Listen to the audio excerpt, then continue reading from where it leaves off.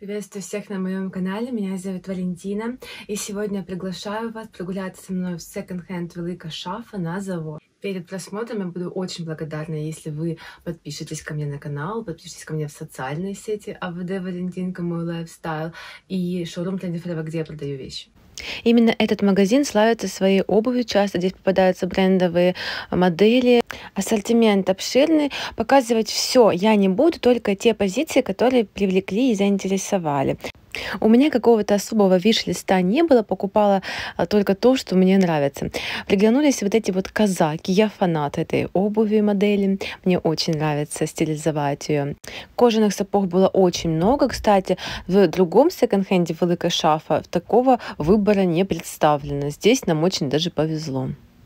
Сейчас мы находимся в самом дорогом зале. Если я не ошибаюсь, то цена за килограмм здесь была 270 гривен. Но обычно здесь обувь оценена изначально, то есть не на вес. Но я могу ошибаться, я не уточняла в этот раз, когда посещала его. А вот эти вот босоножки очень понравились, такие интересные, плетеные, на э, платформе а-ля эспандрилли. Фирма это River Island, не мой размер, к сожалению. Рядом стояли интересные Саба от Джордж. Они кожаные, э, с квадратным носочком, но каблучок великоват для меня. Я, я больше на плоской платформе предпочитаю ходить. Кстати, еще заметила, что здесь обувь представлена целыми коллекциями, то есть по несколько размеров, вот как сейчас на видео показываю. Видимо, это как стоковый какой-то а, хенд, да, куда а, прям с Европы непроданные позиции отправляют. В отделе с обувью мы провели очень много времени. Как видите, здесь э, такое количество ее представлено. Но купить мы ничего не купили именно в этом зале. Потом мы переместились в другой отсек и вот там повезло уже больше. Но мы пришли практически к закрытию магазина, поэтому э, до конца весь э, зал я не смогла осилить. Поэтому в этом магазине я была два раза. Вот сейчас на завозе, и потом через несколько дней я пришла, так как не успела осмотреть э, самый-самый дальний зал. Проведя немало времени, знакомясь с ассортиментом из обуви, мы все-таки приняли решение, что нужно идти в другой э, отдел, там, где цена была по 160 гривен за килограмм. И сразу нам попадается кожаный ремень от Линденберг э, в идеальнейшем состоянии с очень интересной пряжкой. В этот раз мы его не взяли, Потом вернулись и купили. Сумочка плетеная очень понравилась, такая интересная модель. Если время располагает, э, то я всегда вот эти контейнеры с э, изделиями обязательно осматриваю. Тут, конечно, э, времени меня поджимало, но все равно мы немножко прошерстили ящик. Ничего такого сверхъестественного не нашли. Э, были и ремни, и галстуки, и носочки, и игрушки, и клатч, некоторые винтажные модели. Э, понравился плетеный поясок вот этот красного цвета, но я сомневалась, что это кожа, поэтому не стала его брать. Также здесь были части от ремней, вот такая вот пряжка. Э, сумочки интересные нашли. А, конечно, состояние их было не на 5 с плюсом, поэтому мы их так и оставили в магазине. Но что мне нравится, это были винтажные модели, очень интересные, залюбленные, как я это называю.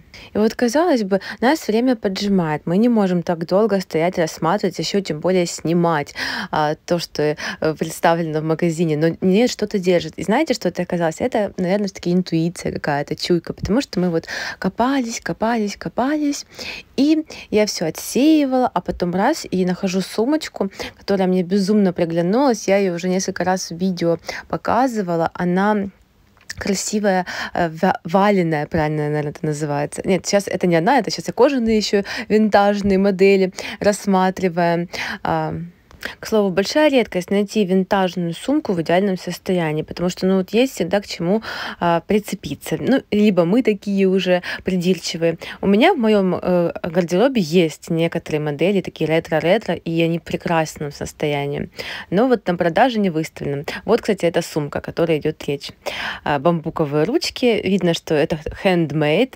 Внутри ни одного отдела нет, только вот такой вот отсек, один сплошной. Но какая она вместительная удивительная, какая она стильная, какая она вот э, одна в своем роде. Ношу с огромным удовольствием и обошлась на всего лишь 2-4 гривны. Не знаю почему, но она очень мало весит. Я, кстати, даже думала, что если не буду носить, отдам моей маме эти ручки. Она любит меня вязать и смогла бы какое-то творение сделать. Это у нас рейл с аксессуарами. Здесь иногда можно найти шелковые, кашемировые э, платки, шарфы, но сегодня нет, не удалось. Э, полиэстер, аксессуары. Кстати, у аксессуарайза есть шелковая модель, но конкретно это нет.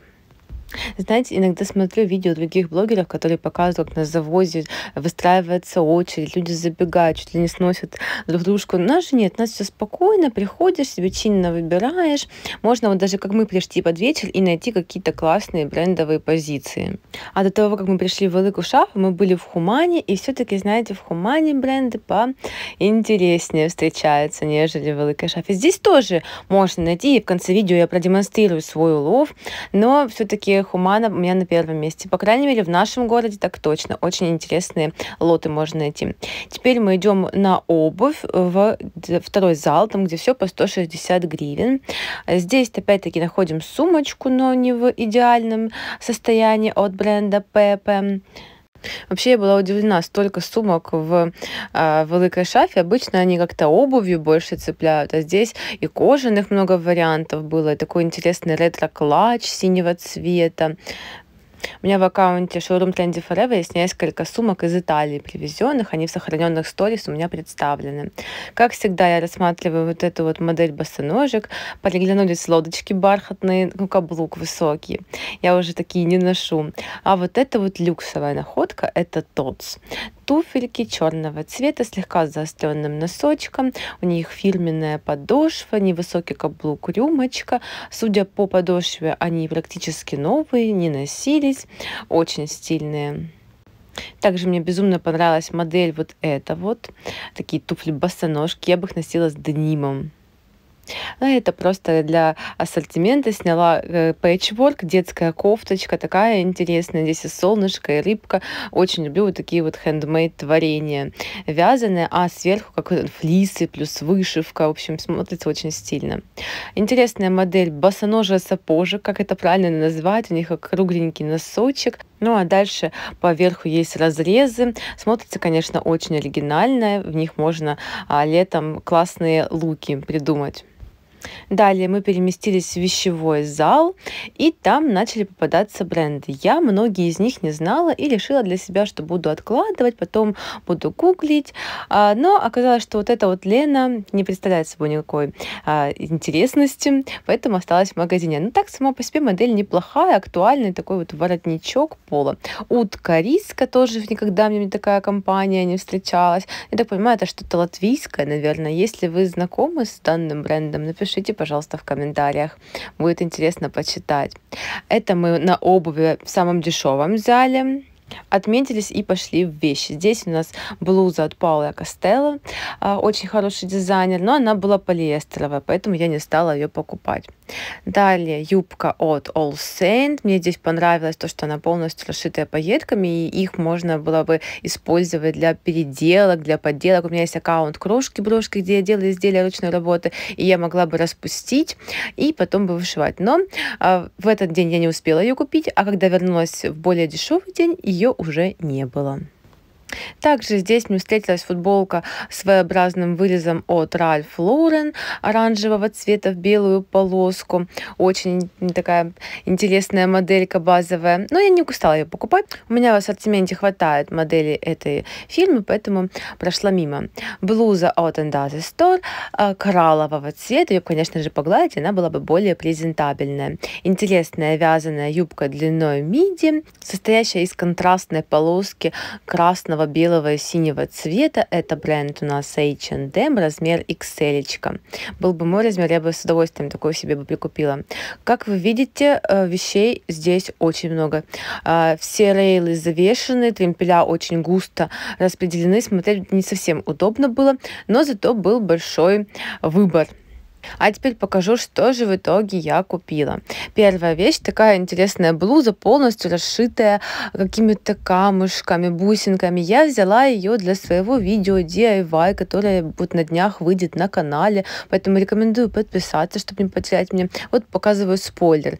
Слева изделие, которое вышиваю я, а справа это блуза, которая расшита этими камушками, которые я сейчас обрежу и буду использовать в дальнейшем. Далее это платье от бренда Frank Asher зеленого цвета в 18 размере. Очень дорогой бренд э, и очень интересная модель. Хоть это и полиэстер, несмотря на, на ненатуральный состав. Мне нравится, как ткань ведет себя и смотрится очень круто. Я очень жду, что скорость у меня закончится ремонт, и я смогу показывать вам мои находки в ином ракурсе, более удобном. Это шерстяное платье от бренда Alan Manukyan. На бирке указано, что это 38 размер, но у меня XS, и это платье на мне так впритык сидит. Это французский бренд, люксовый. Компания основана в 1969 году и очень ценятся вещи. За всю историю моего рассельства это четвертый позиция, которую мне удавалось найти. Ну а вот это вот платье трапециевидное от бренда Наф черного цвета с белым воротом. И этот ворот как будто бы из кожзама выполнен. Это платье в 40 размере, и мне немножко в зоне декольте оно великовато, но а так смотрится, конечно, очень стильно. И эту модель можно носить как зимой, так и весной и летом даже. А вот это вот винтажная находка, э, я нашла ее уже во второй раз, когда приходила в магазин, трикотажное вязаное платье, очень интересные расцветки. 99% вещей, которые мне удается найти, я выставляю на продажу. Но вот это вот платье, скорее всего, оставлю себе. Мне оно так понравилось, такое интересное. Тем более я очень люблю винтажные модели. И еще нужно учитывать, что мне с моим весом очень тяжело найти какие-то вещи, которые будут вот так вот, вот сидеть по фигуре. А здесь, мне кажется, идеально. Ну, я буду благодарна за комментарии, что вы по этому поводу думаете. И вот эту вот позицию хочу оставить себе. Это шелковые брюки на очень высокой посадке. Они слегка укороченные красивого серого цвета, завязываются на кулиске. Их можно, как сейчас, попробовать с туфельками обыграть. Можно, допустим, с кроссовками в спортивном стиле. Здесь я ближе показываю фактуру ткани, они очень необычные. А еще у них внутри есть подкладка. И самое обидное, что у них нет боковой бирки, где будет указано, что это 100% шелк. Но тактильно я уверена, и на сегодня видео буду заканчивать. А, буду признательна, если в комментариях вы напишите, что из моего улова вам понравилось. По традиции я желаю хорошего вечера, улыбок, добра, всех благ.